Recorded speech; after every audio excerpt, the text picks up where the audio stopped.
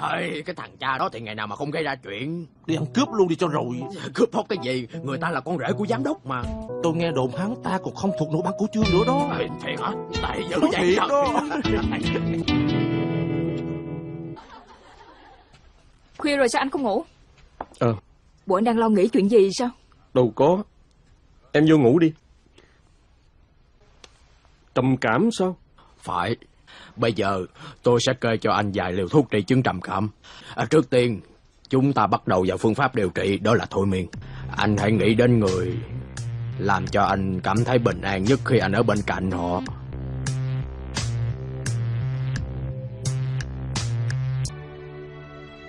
Tôi nhìn thấy ba tôi. Thời gian mà anh cảm thấy hạnh phúc nhất khi ở bên cạnh ba của mình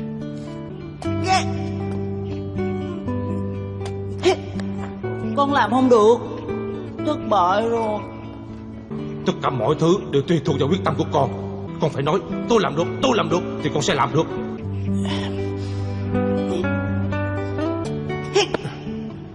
Thấy chưa? Dạ thưa ba. Sau này nếu muốn anh cứ viết thư cho người cha quá cố vào đây Chỉ cần khi nào anh thấy thoải mái thì anh cứ viết vào. Ba ơi Con đã quên mất những lời giáo huấn đầy ý nghĩa của ba Dành cho con ngày nào Con sẽ làm được. Ba ơi Con sẽ sống tốt hơn. Kể từ hôm nay con quyết định sẽ thay đổi. Con sẽ đánh thức vợ mình Bằng một cái hôn vào buổi sáng.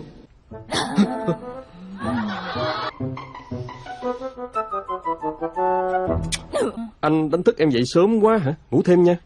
Sáng nào anh cũng đánh thức em như vậy Em cảm thấy vui lắm ông xã. Vậy hả?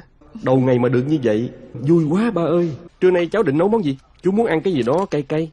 Ờ, chú không dặn cháu đã lỡ nấu canh nghêu rồi. Cũng được, canh nghiêu cũng có vị cay. Mặt chú dính gì hả? À dạ không, hôm nay cháu lại thấy chú đẹp một cách lồng lộn đẹp lạ lùng. Có lẽ hôm nay chú cười. Cô bé giúp việc nói con đẹp lạ lùng. Chỉ cần nghĩ mình đẹp thì mình sẽ đẹp phải không ba? Ba đang làm gì vậy? Ờ, bà đang tính giá của nguyên liệu về lần này. Kể từ hôm nay, con sẽ chấp nhận đối mặt với tất cả mọi thử thách. Ba cho con làm thử có được không ba? Lần này nhất định con sẽ không làm ba thất vọng, con sẽ làm được. Được quá ha. Bà có thể an tâm giao việc cho con rồi. Thiệt hả ba? Đúng vậy, con giỏi lắm. Con vui quá ba ơi Cái người con cứ lân lân như là siêu nhân vậy đó Tôi xin nhận lời thách đố Búa Thắng rồi! Con đã tù xì chiến thắng với một cô bé. Thì ra trong con tiềm ẩn rất nhiều tài năng mà con không biết. Yeah! Yeah! Đi tắm hơi với ba không? Dạ. Đi đi. Ba sẽ kỳ lưng cho con. Hay quá. Con lên chuẩn bị rồi xuống liền. Tốt lắm. Con đang làm gì vậy? Ba bất ngờ chưa? Con đánh giày cho ba đó. Harry à Cảm ơn con. Đây là ngày thứ hai con được sinh ra thêm lần nữa. Nhờ vào những điều mà ba đã dạy cho con bao giờ nữa đây? Con cứ làm cho tới khi nào mẹ nói thôi. Chị tìm thấy nó trong túi của anh Bô Sút Thuốc trầm cảm à.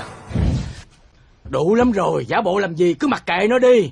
Ba làm bộ một chút cho anh vui cũng không được Chưa chủi vô mặt là may lắm rồi á. Nhưng mà ba. Con không muốn làm lọ lem hè phố đâu. Thôi ráng đánh vài lần. Nữa. Cháu chỉ cần khen chú đẹp trai là được phải không cô? Lâu lâu hãy đổi là nhìn chú hấp dẫn như là hot boy vậy đó. Cứ phải tắm hơi với ba hoài sao ừ, Cố gắng hợp tác đi. À, Mọi người đang hợp tác gì vậy? Cái gì đâu Cái gì? Ba ơi mình đi tắm hơi ha. Chú ơi Chừng nào mình chơi bánh tu xì nữa. Để chú đi tắm về đã. Lúc chú cười nhìn chú hấp dẫn như là một hot boy vậy đó. Ba kiểm tra lại bảng giá Thấy có gì sai sót không?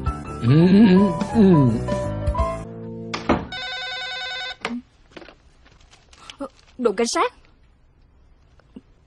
Hả? Gì vậy? Làm sao bây giờ? Tiền phạt nhiêu vậy? 15 triệu won Hôm nay ba cứ để cho anh trọn một ngày vui đi ha Ba đừng có la ảnh đâu ha Một đồng tiền phạt bà cũng không trả. Đêm nay trôi qua Rồi ngày mai sẽ có chuyện gì nữa Con linh cảm Ngày mai cũng sẽ đầy ắp những điều hạnh phúc hơn hôm nay Một dự cảm tốt đẹp Chưa hết à, đừng nghỉ rồi hả? Dạ Dạ Cuối tuần này, chúng ta hãy cùng đi leo núi với Chi Huynh đi. Đi hết hả Chỉ có đàn ông đi với nhau thôi. Ôi, Sao ba lại trọng nam kinh nữ vậy chứ Em đừng buồn nghe Chịu khó ở nhà lần này thôi Con cũng ở nhà. Dạ Đã là người một nhà thì tất cả đàn ông đều phải được đi hết chứ Ông ơi cho ba con đi chung với nha Chuyện gì cũng có nguyên nhân của nó. Thiệt tình là bà thấy sợ nữa lắm rồi. Ai mà không có một lần sai sót Thôi được rồi, nếu vậy thì tất cả cùng đi. Con cảm ơn ba. Thì tới biệt thự của bạn con đi, nghe nói là cũng lớn lắm. Có biệt thự hả? Dạ. Ủa cậu ra đây chi vậy Nên ra đây phụ chị đó mà. Thôi khỏi tôi làm được rồi Chị vô nhà đi. Chị mau vô nhà làm chuyện khác đi mà. Em sẽ vô liền.